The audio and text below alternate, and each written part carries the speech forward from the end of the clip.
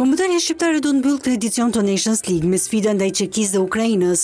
Trajneri Silvinho në konferencën e tij për shtyp i dha më shumë rëndësi sfidës me Çekinë, duke shprehur dhe besimin për një rezultat pozitiv, duke parë edhe faktorin fushë. Hola Chris, pues mi preguntaste en español, te voy Gjithmonë ndeshja e radhës është më e rëndësishmja, edhe nëse do të ishte radha ndryshe. Është shumë e rëndësishme. Ka në avantazh një pikë të tjerët në grup. E kemi thënë që është një grup shumë i vështirë. Nëse nuk është më i vështiri, është mes tyre. Duhet të shkojmë në fushë për të dhënë maksimumin. Kemi shanse të mira nëse japim njëqind për qind. Me publikun tonë, ne kemi një avantazh. Ata kanë një pikë më shumë, ne kemi publikun tonë.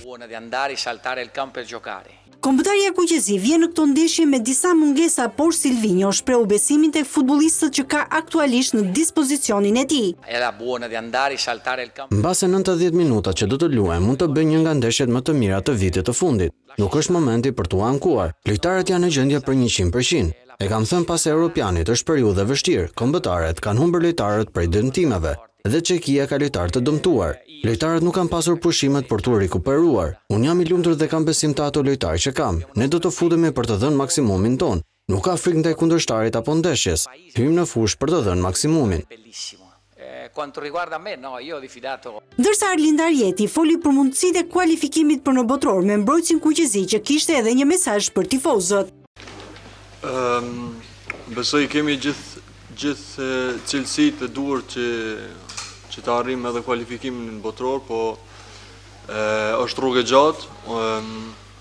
Besoj në qoftë se gjithë mundohemi me dhanë maksimumin dhe dhe lajmë shpirtin për për kombëtaren do arrijmë edhe atë.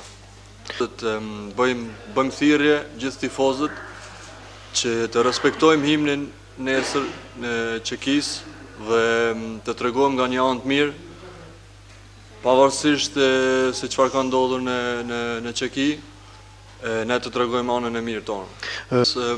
Shpresoj që ta shohim ekipin që ishte në në Gjeorgji, po e dim gjithë që është një ndeshje shumë e vështirë, e dim cilësitë e Çekisë dhe mm, jemi pregadit mirë dhe shpresojmë që nesër t'ia dalim të dalim me tre pikë. Kombëtarja shqiptare do të luajë ndaj Çekisë në mbrëmjen e së shtunës, ndërsa të martën e 19 nëntorit do të luajë me Ukrainën. Të dyja këto ndeshje do të luhen në Air Albania Stadium dhe do të transmetohen në platformën Digitalb.